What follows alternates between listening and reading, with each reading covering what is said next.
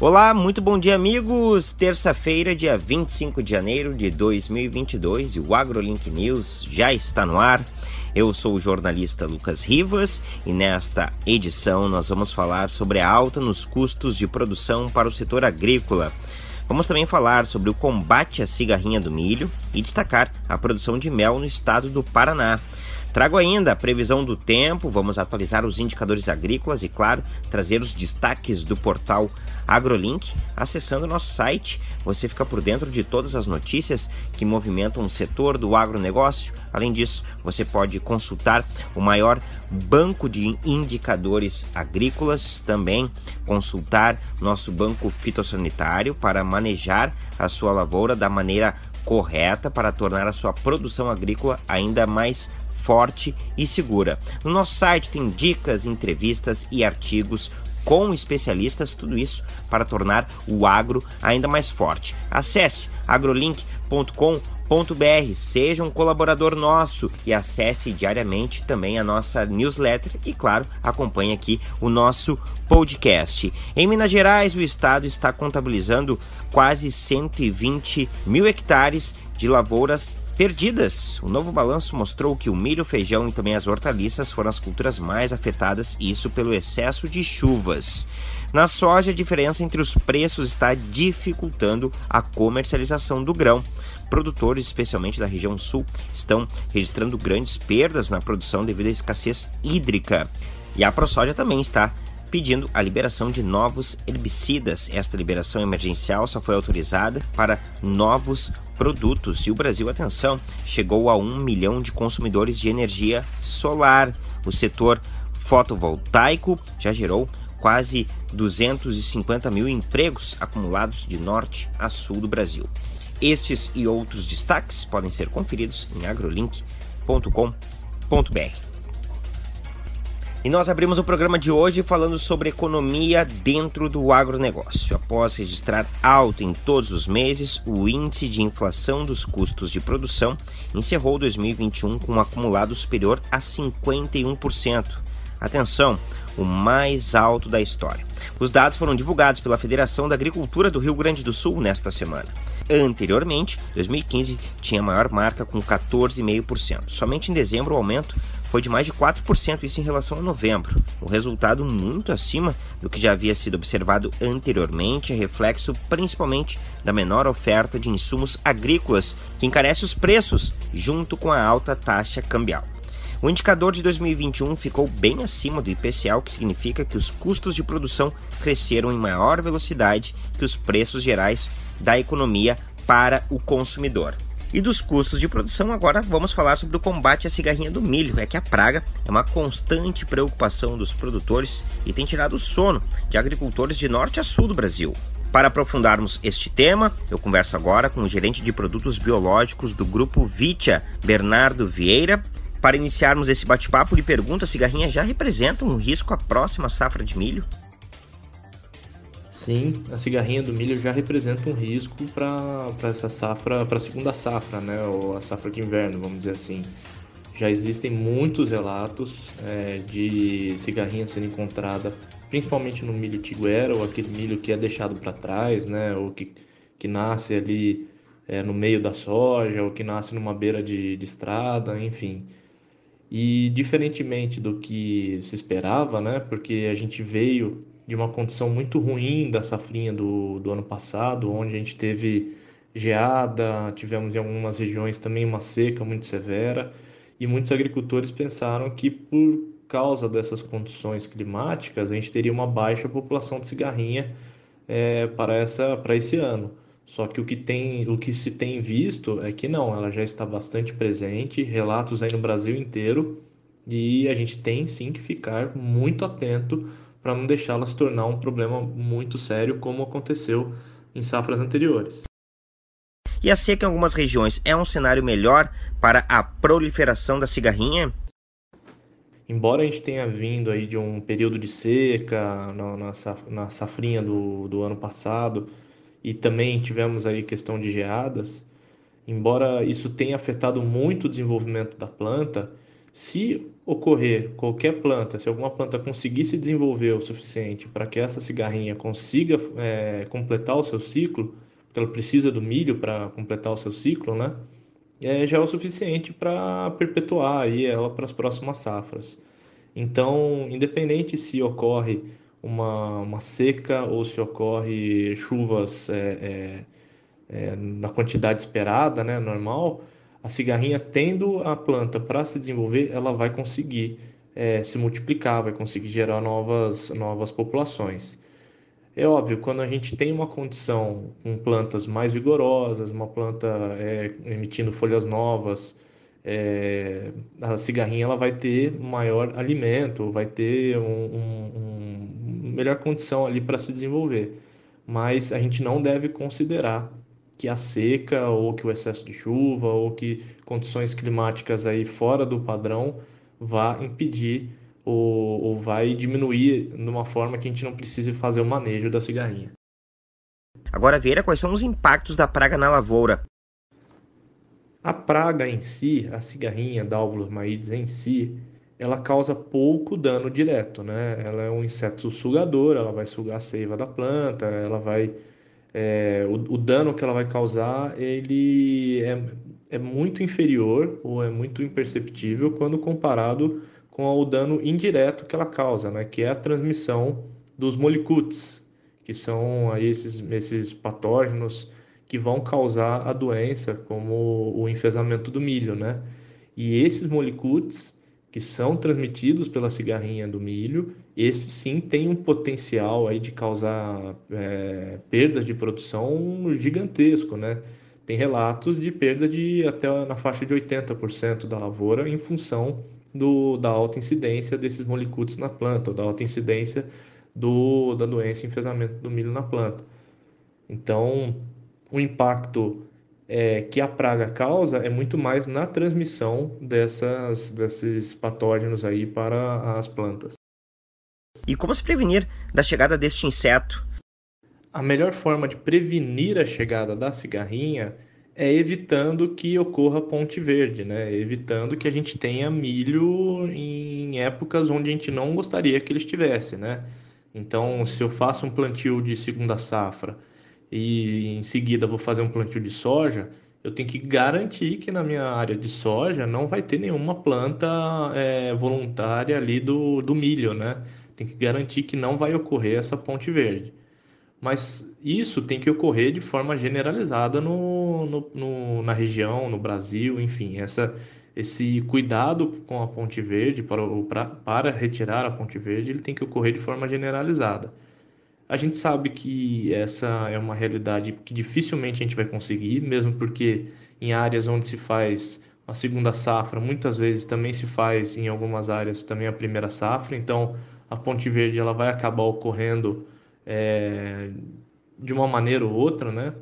Então a melhor forma de se prevenir é fazendo já o manejo antecipado, né? Então, primeiro de tudo, um tratamento de semente bem feito, isso ajuda já a segurar um pouco a infestação da cigarrinha logo na emergência da planta.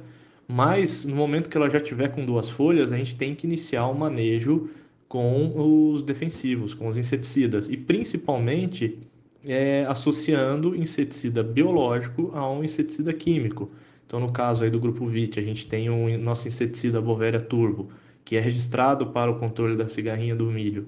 E a gente vê que quando ele vem associado com inseticida químico, já nessas primeiras aplicações, a eficiência de controle ou, ou, a forma como a gente consegue reduzir os danos causados aí pelos molicutes, né, que são transmitidos pela cigarrinha, aumenta muito.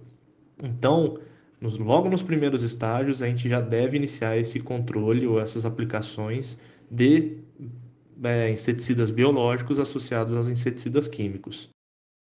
E caso a lavoura já tenha a presença da cigarrinha, qual é o melhor caminho para se vencer esta praga?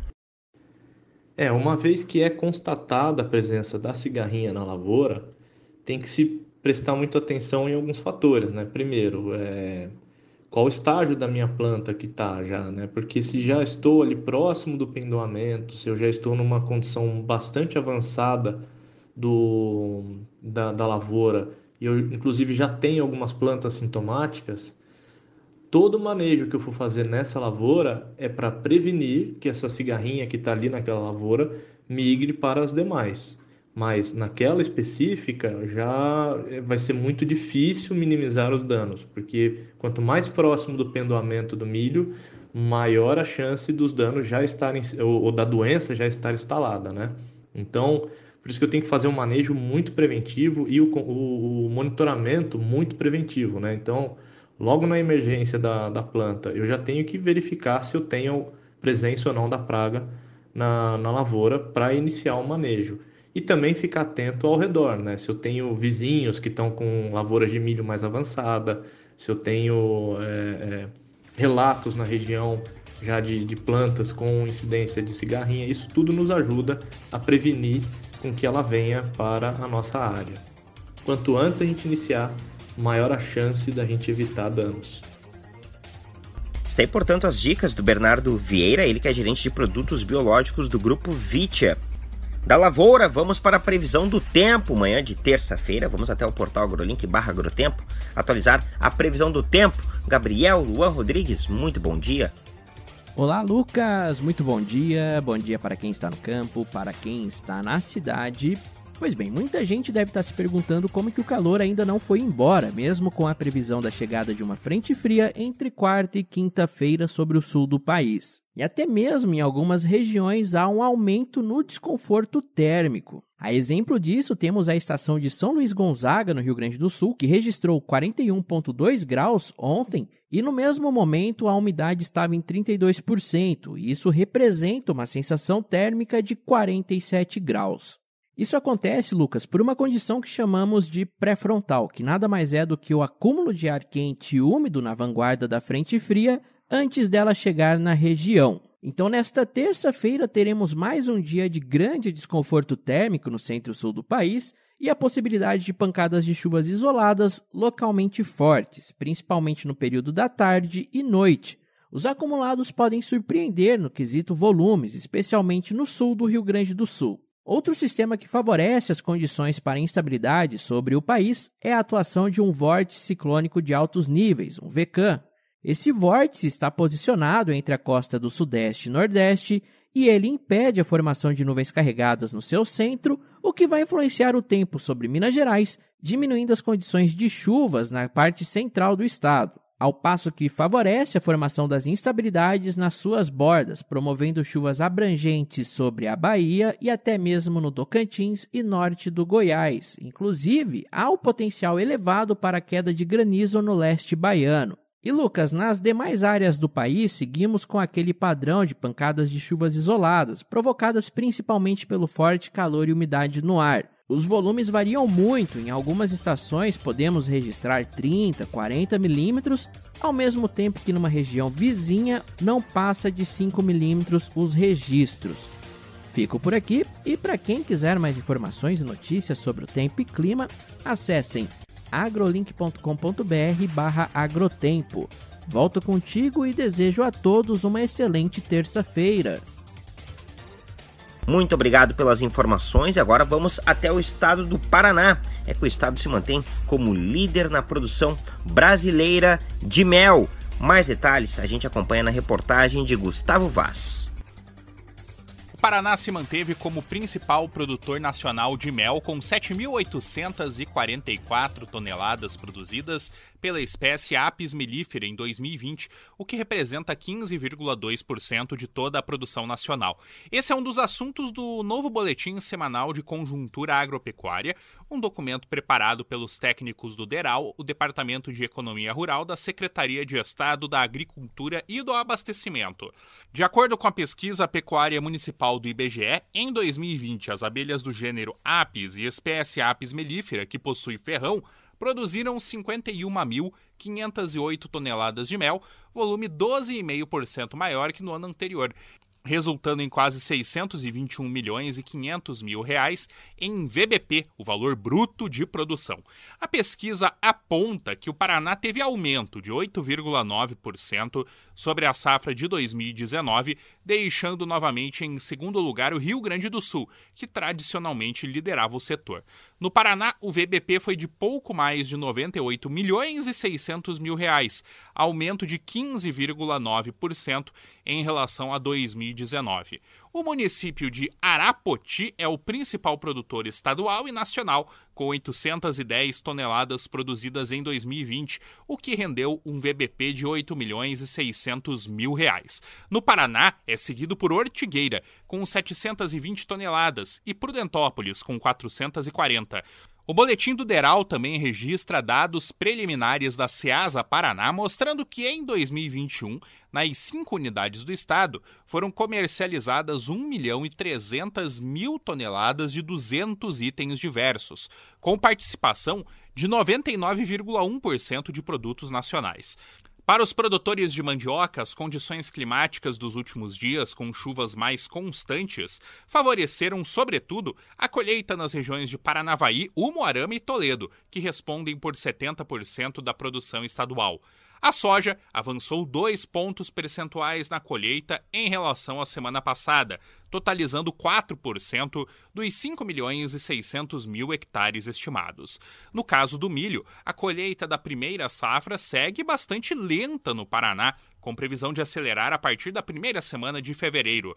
O documento também traz informações sobre a inflação oficial e variação de preços dos produtos à base de trigo, o crescimento das exportações de carne de frango e a estabilização da produção nacional de ovos, com o Paraná como segundo maior produtor nos nove primeiros meses de 2021. O boletim completo está em www.agricultura.pr.gov.br. Muito obrigado pelas informações. Reta final aqui do AgroLink News. Vamos agora aos indicadores agrícolas. Milho, saca de 60 quilos, abre a terça-feira sendo negociada a 100 reais a saca em Erechim, no Rio Grande do Sul, R$ 99,00 em Campinas, São Paulo, em Cascavel, no Paraná, R$ 97,00. Já em Uberaba, Minas Gerais, R$ 91,00 é o indicador do milho, R$ 88,00 em Rio Verde, Goiás, em Rondonópolis, no estado do Mato Grosso, R$ 80,00. Este é o preço do milho no mercado interno nesta manhã de terça-feira. Com estas informações, nós vamos ficando por aqui. Uma ótima terça-feira a todos e amanhã nós estamos de volta com mais AgroLink News. Até lá!